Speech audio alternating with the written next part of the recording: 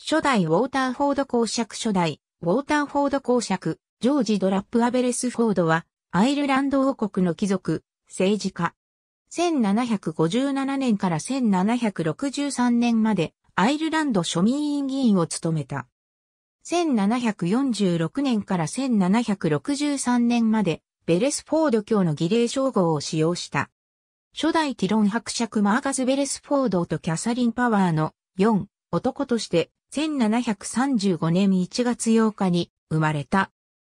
1757年から1760年までウォーターフォードカウンティ選挙区の1761年から1763年までコルレーン選挙区の代表としてアイルランド庶民院議員を務め、1763年4月4日に父が死去するとティロン伯爵位を継承。1769年7月27日に母が死去するとラプアダン爵位を継承した。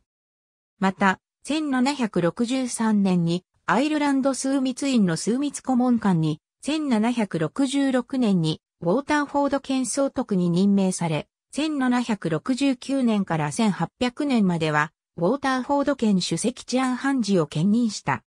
1783年2月5日に、聖パトリック騎士団が創設されると、同年3月11日に、定員15名のうちの1人に選出された。1786年8月21日、グレートブリテン貴族であるペンブルックシャーにおけるハバーフォードウエストのティロン男爵に除された。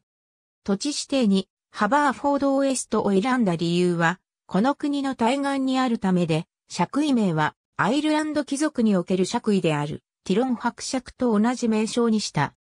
その後、1789年8月19日にアイルランド貴族であるウォーターフォード公爵に上された。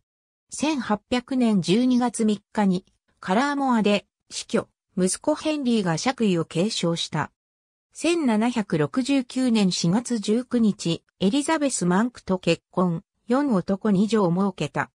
諸子に、初代順男爵サージョン・プーベレスフォードと、初代ベレスフォード子爵、ウィリアム・ベレスフォードがいる。